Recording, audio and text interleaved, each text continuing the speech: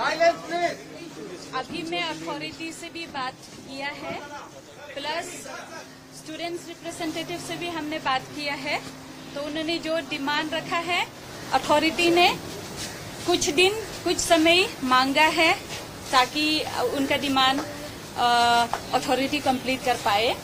तो आप लोग भी थोड़ा कोऑपरेट करें कि अथॉरिटी भी जो अपना जो स्टूडेंट्स की डिमांड है वो लोग फुलफिल कर पाएँगे कुछ दिन में।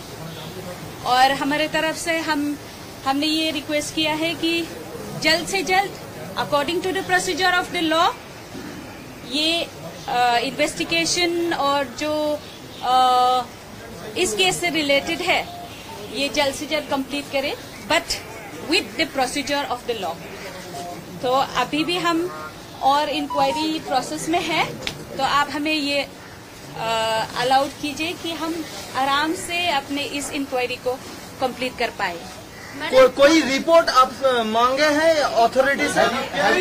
जी जी जो report yes we have as all the report they will submit to us hospital